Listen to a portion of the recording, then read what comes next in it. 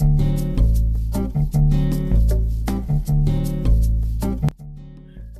it's Jeremy from WebsiteBuilderExpert.com. Now that we've gone over the sign-up process for Jimdo, we should get started in building your website. So I'm just going to give you um, a general feel of how to get the pages set up. And there are a few things here that you should pay attention to because they're not as obvious, especially if you haven't used Jimdo before. Setting up pages is actually quite easy with Jimdo. They really do a pretty good job with this. Hover your mouse over the navigation bar and click Edit Navigation. Now, the template here is a default one that Jimdo gave us, but I'm going to get into how to select a different theme in another tutorial later. So click Edit Navigation, and you're going to see a menu right here. And you can see that these pages here correspond to the menu bar horizontally right here.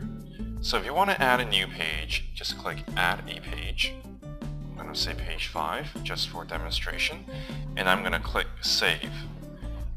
To move these pages around if I want to reorder them just click the arrows and they're going to be moved automatically so you can see page 4 is now above page 3. To see it just click save again. If you want these pages to become sub pages you just click the right arrow so page 3 now is a subpage of page 5. And if I want page 5 to become a sub-sub page on page 3, just click the arrow twice. To delete any pages, click the garbage can right here. And it's you if you want to confirm the deletion, click yes. Or if you want to hide a page because you're working on it, just click on the eyeball here.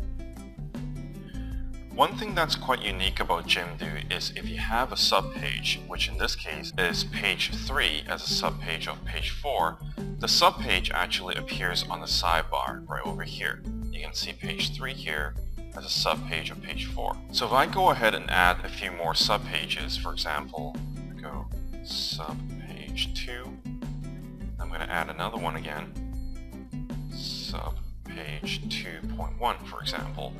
I'm going to move subpage 2 to under page 2 and I'll do the same thing for this.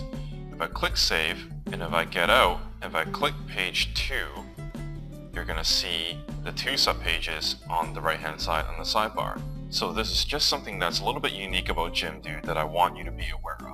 Unfortunately, there is, um, aside from customizing the template, there is no way to create a drop-down menu bar under Jimdo's uh, free templates right now. But as I said, if you really want to do it, you can always customize it if you know codes, or you can hire someone to help you on that front. Another option is to purchase pre-made templates from some providers out there. If you just go to your search engine and look up Jimdo templates, you'll find some premium uh, pre-made templates that's really going to uh, transform your website design. That is if you don't find existing Jimdo templates um, uh, good enough for you.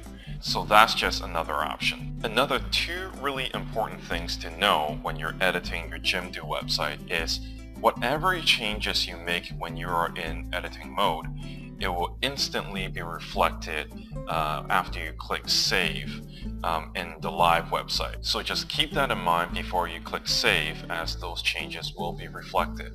And if you're making changes and you want to see what the website looks like, down here you can click on the view mode and immediately you're going to see what the website actually looks like in real life. Just go back to edit mode by clicking edit here again and you can continue to make changes to your website.